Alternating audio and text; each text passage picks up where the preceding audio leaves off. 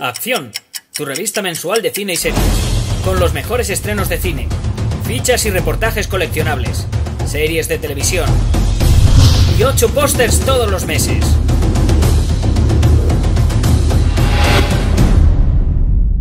Búscala en tu kiosco.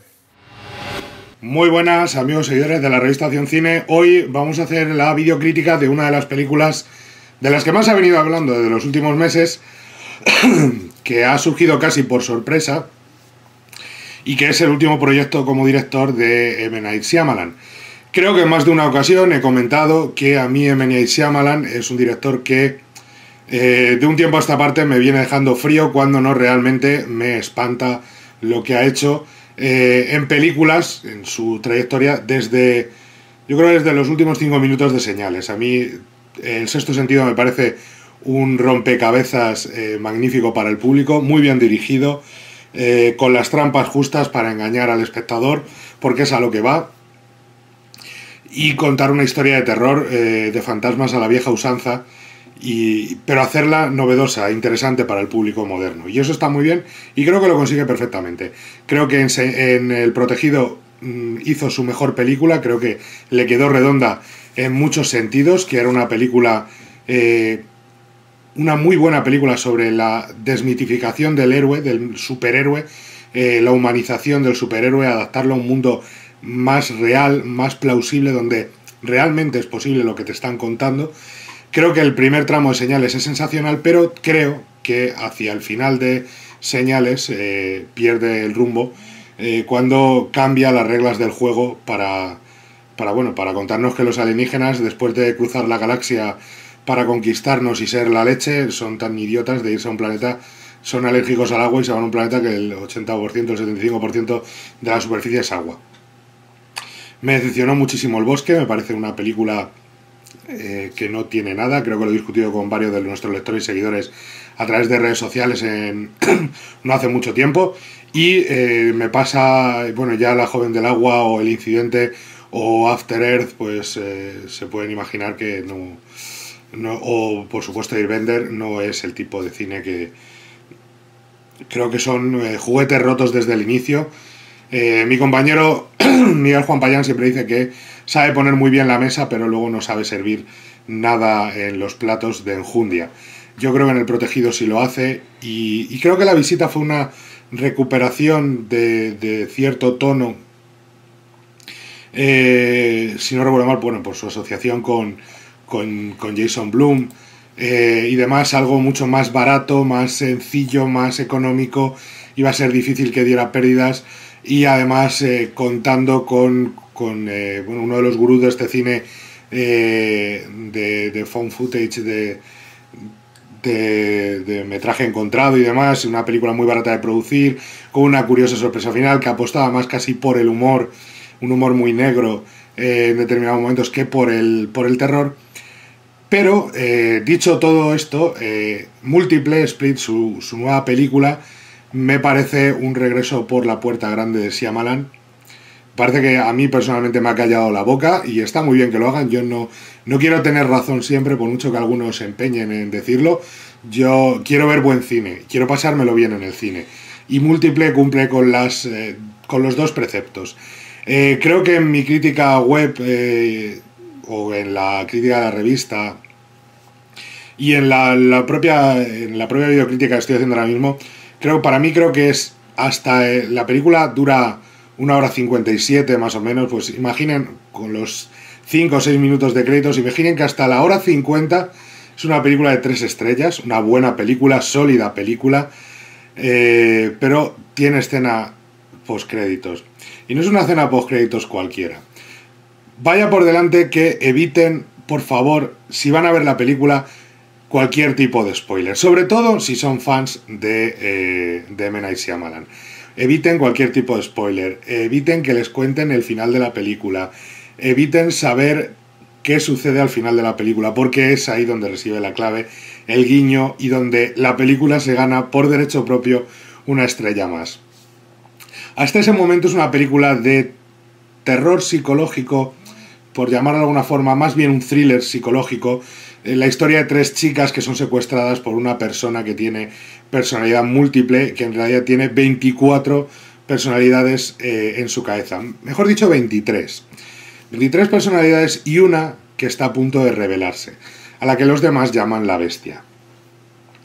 Por un lado está la historia de estas tres chicas intentando escapar y conociendo a su captor, y al mismo tiempo está la historia de este hombre visitando a su eh, terapeuta, a su psiquiatra, que es una mujer que va contando una va eh, explicando lo que ella piensa de la personalidad múltiple y lo que encierra realmente y, que va descubriendo poco a poco el misterio de lo que, de lo que sucede con, el personaje de, James McAvoy.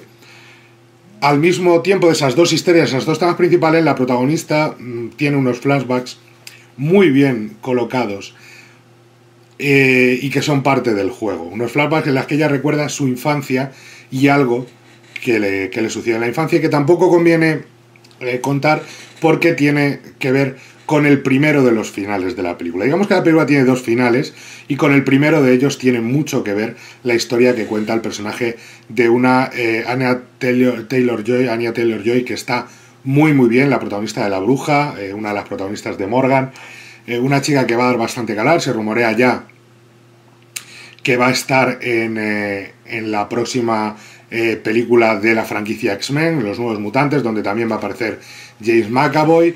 y aquí es la coprotagonista real de la historia, porque al final es el duelo entre su personaje Casey con los muchos personajes de James McAvoy.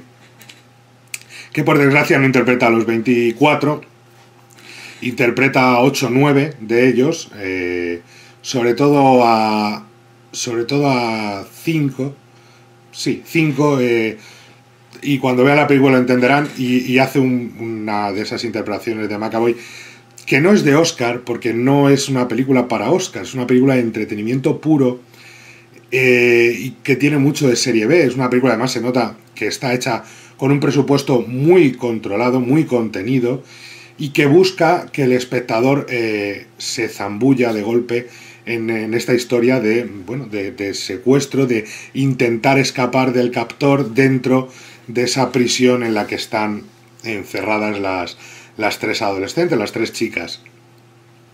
Mientras eh, llega la bestia, llega esa, esa vigésimo cuarta personalidad que está a punto de aparecer.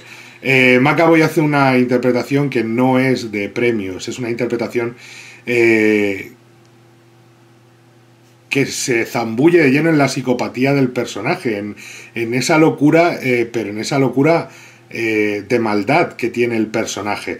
Es sensacional verle hacer de niño, el instante siguiente verle hacer de, mujer, en plan casi señorita Rottenmeier, con un punto de dominatrix. Eh, pero con la cabeza completamente afeitada, lo cual le da un tono muy perverso al personaje por momentos, eh, maquiavélico, y, ver cómo eh, aguanta todo lo que le echen encima una, actriz como es, como es Anya Taylor Joy, que lo aguanta con una mm, pasmosa facilidad y que se convierte en una de las, de las claves de la película, ese duelo entre ellos dos. Y os decía lo de las tres estrellas porque creo que una de las de uno de los pequeños, no, no uno de los pequeños defectos, uno de los patinazos, por así decirlo, de la película, uno de los momentos en los que pierde un poco de, de, fuerza la, película, por así decirlo, es que eh, durante varios momentos intentan explicar demasiado el asunto, dar demasiadas vueltas, eh, es una película que le sobra metraje, directamente. Si le hubiera quitado 10-15 minutos de metraje, de darle vueltas de discusiones, de ir para allá, al espectador ya le ha quedado claro.